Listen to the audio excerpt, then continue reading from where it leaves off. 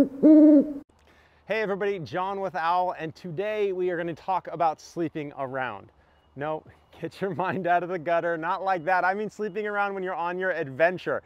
Behind me is a fairly typical 144 adventure van, and this really applies to any length of van, but with a 144 you are severely limited on space, the number of people you can sleep.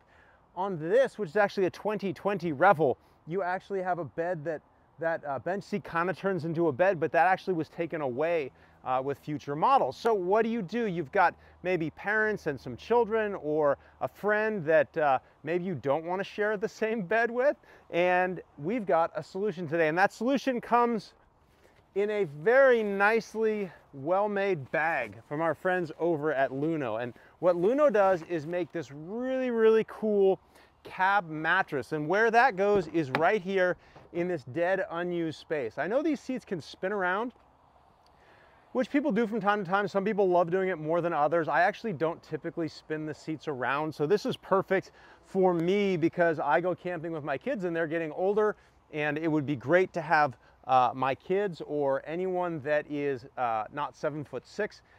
It's on the website. I should have looked this up before doing the video, but I think it's like five, seven and below can sleep in this bed. So it's actually gonna accommodate most people in the US. I think uh, average height for women is like five three, and for men it's like five eight, five nine. I don't know. Anyway, so the way this works is it's an inflatable bed, but what's cool about it is it's got supports so that it turns this uh, otherwise not flat at all area into a place where you can sleep. So now I'm gonna inflate it and I'm gonna show you how comfortable it is. Stay with me. First thing I wanna show you is this. It is a rechargeable air filler. Cool thing too, when you're out and about and you've got uh, inflatable toys, maybe you're camped at a river or something, you can use this as well. USB-C charging port, and this is what we're gonna use to fill this up. One of the things I like about Luno is just from the start, even the bag that the product comes in, nice stitched canvas with this honeycomb material. It's a very high quality product. And when it comes to inflatables, that's one of the things that you should worry about because they can be made very cheaply, in which case they will inevitably pop holes, or they can be made very nicely and they last a long time. So I would definitely put Luno into the latter category because it is nicely made. So look at this. See how it's kind of a T, well, you can't really see it. Anyway, it's a T shape and it mirrors, or not mirrors, but it is the shape of in front of the seats and between the seats. So this is the first thing we're going to inflate. It's gonna go in the middle. And then this becomes your mattress. One other thing that I failed to mention is you can actually move this nozzle to the deflate. So instead of sitting on it and like waiting for the thing to deflate, you can actually flip the switch on and suck the air out of it to make it super compact. We are obviously going to inflate to start. You can also see that the mattress has both inflate and deflate on it. I'm gonna go on a limb and say that all y'all are smart enough to know which one to use.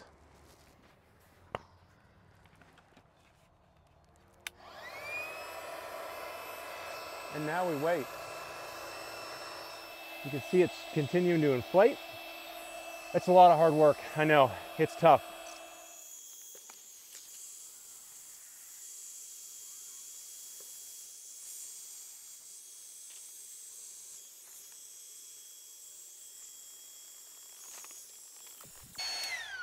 All right, step one done. We have our mattress in, or our uh, base of the mattress in place, and you can see how this fills up that gap. And it, you can already see how it's kind of creating a level area. We're gonna push the steering wheel all the way in so you get a little bit more room. You can also push the seats back to get a little bit more room. And we're gonna keep going. So I raised the seat, excuse me, I raised the steering wheel up and pushed it in. So this bed part works just like the base. You put the inflator and deflator uh, holes back here so you can access them. And you rinse and repeat.